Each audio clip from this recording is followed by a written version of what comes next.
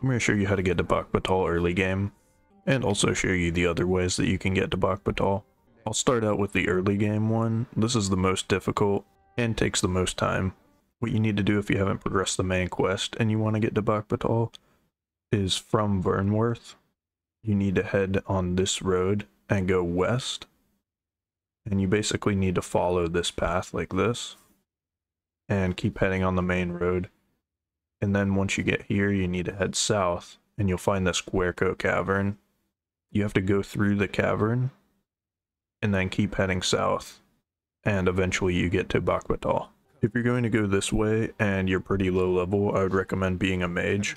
And as a mage, I would say the most important things to have are Frigor and Celerity. I think that you can have Celerity once you're level 4.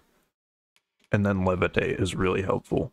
Celerity gives you a movement speed bonus, so you can run past a lot of the high level enemies that would normally catch you and kill you pretty easily. And then Levitate allows you to kind of cheese enemies by getting on rocks and flying over bridges and stuff. And Frigor lets you bounce enemies up into the air, so if you do decide to kill them, then you can basically keep juggling most of the enemies you're going to find on this path. And as long as you manage your stamina, if you want to kill them, you can just keep juggling them with Frigor over and over. Also drops the ice blocks that you can throw at enemies that do way more damage than you'll be able to do at low level.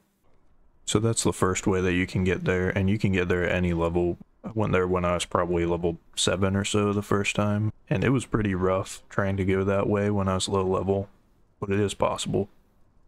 I'm not going to go through the whole route because it's pretty straightforward, honestly. I will say though, in the cave, it will make it a lot faster if you have levitate because you can just fly over these bridges that get knocked down. Other than that, just follow the route I showed on the map at the beginning. Then the other way you can get to Bakbattahl is once you progress the main quest far enough, you get this Beastren border entry permit, and you can take the ox cart from Vernworth. I'll show you where it is on the map. So from the main merchant square, it's just to the west. And if the ox cart is not there, or if it's not the time yet, you can go up to the sign and await the ox cart.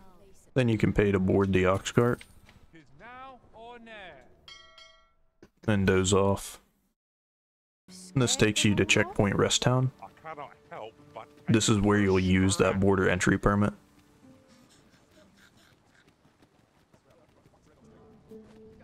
And once you're here, what you're going to need if you're not a Beastren is you're going to need to go to the shop that looks like a pen and paper on the map. And talk to this guy at Ibrahim Scrap Store. Buy this Beastren mask. And then we just need to head up this main road that goes up through here.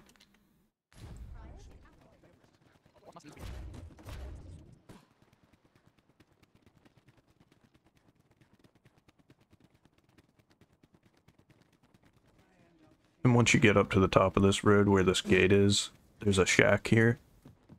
Inside the shack is a note that says that you can use the entry permit if you're a Beastren or if the cargo bears relation to the research laboratory. I'm guessing there's a way to do this by doing a research laboratory quest or something as well. But we're going to do the faster way and equip the Beastren mask. Go up to this guard. and then show him the border entry permit. Now he'll let you through the gate.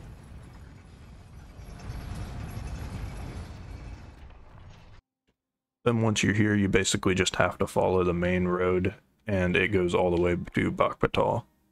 There are a lot of enemies on this road, by the way. If you want the ox cart that goes to Bakbattahl from here, I believe that you have to kill the griffin boss that's on the way. It's also a possibility that you need the Bakbattahl residence permit. Either way, the first time you go there, you're going to have to go by foot. And that's it.